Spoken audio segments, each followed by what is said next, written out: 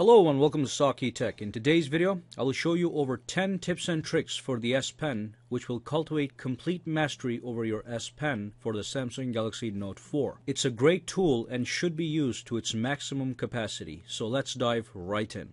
Alright, so the first thing I want you guys to do is I want you guys to pull down the notifications panel and go into settings and in the settings make sure you have the list view enabled and the list to enable the list view tap this icon right here click View As and make sure you tap on the list view and that's going to give you this vertical menu that you can scroll through. But where we really want to go is we want to go into Motion, S Pen under settings. And here's all the options that we have for S Pen, which I'm going to dissect one by one so you guys can fully master them. All right, number one, air command, on or off. So basically, if you grab your S Pen and you bring it close to the screen, and if you press the button, it's going to bring up the air command menu which has some really sleek options. Now if you don't want that you can turn it off. Tap air command, tap that button and it's going to gray out. It's going to say off, go right back. Now let's try this again. Nothing is happening because I turned air command off. Now I personally love the air command so I'm going to turn that on and we are going to move on to the next tip. Now this is a really advanced option. A lot of people don't know about this.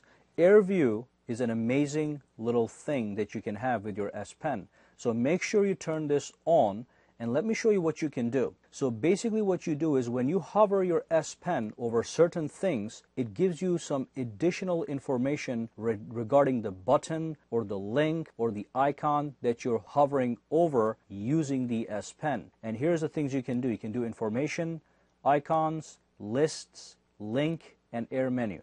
Let me just show you what I mean by list scrolling. So let's go back into settings.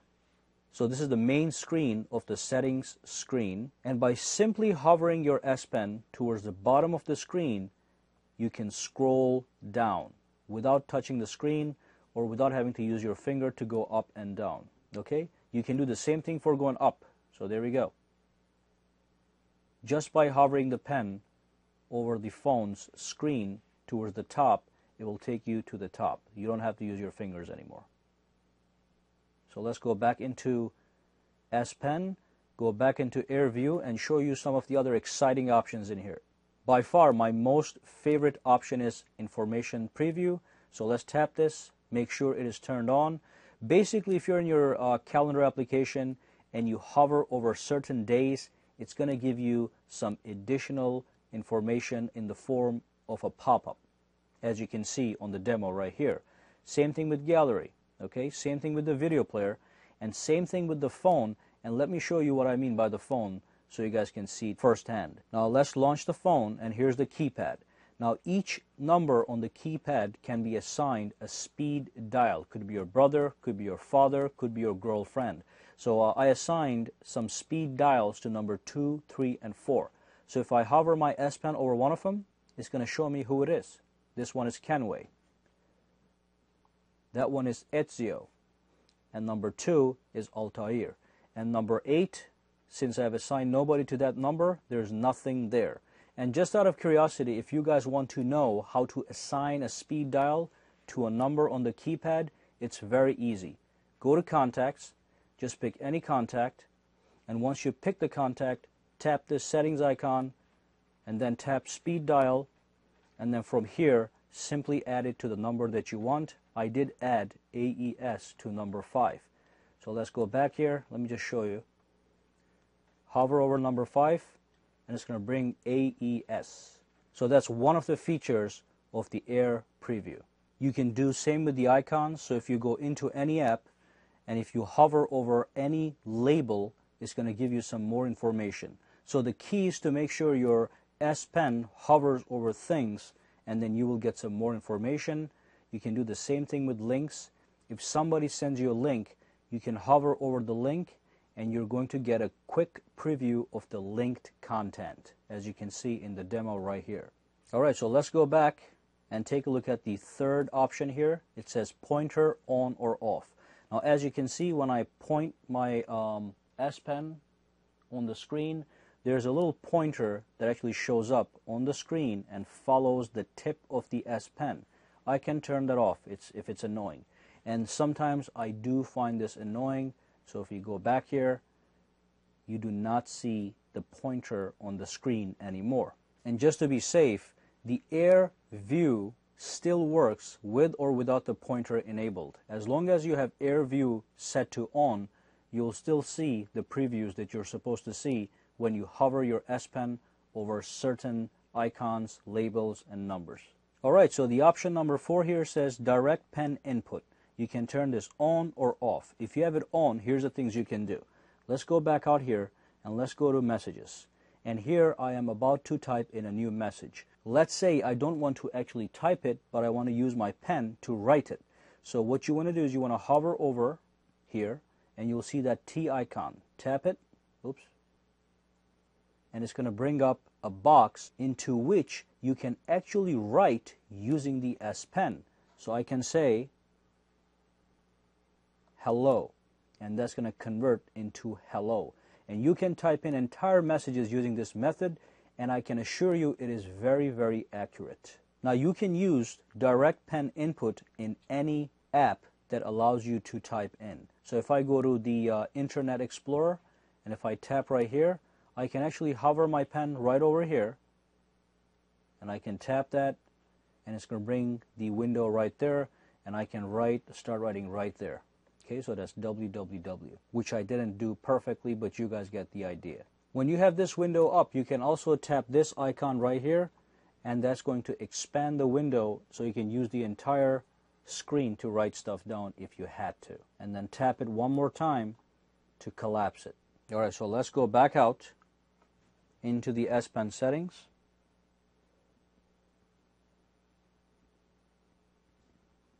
So that was a direct pen input.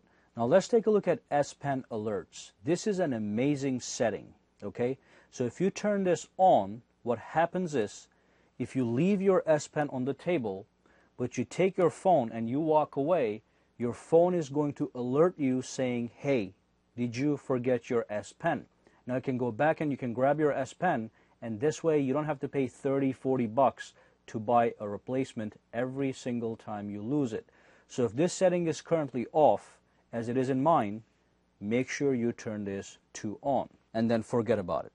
The next one is turn off pen detection. Turning off pen detection when the phone is attached can extend battery life. I don't really care about this option. You can turn it on if you want to save some battery life. It's not going to save you that much. The next option actually is called S Pen Sound. If you tap this, you get three options. Do you want the S Pen to make a noise when you're indulging in one of these activities? So when you launch the Air command, when you tap this icon, you're probably not going to hear this right now but it creates a tiny little noise, um, gives you some feedback that the air command is being launched. The same is the case with air view. When you're hovering over items and you get tiny previews, it makes a small sound. Now, third one is by far the coolest option.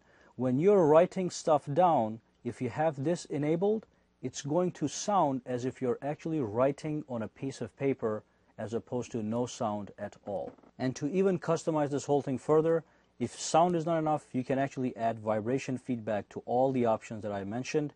If you tap this option, you get vibration feedback for air command, air view, handwriting, and other S Pen gestures. So if you enable that, and if you tap that, every time I launch the air command, not only do I get a sound, I get a slight vibration feedback on the phone, not the pen, on the actual phone.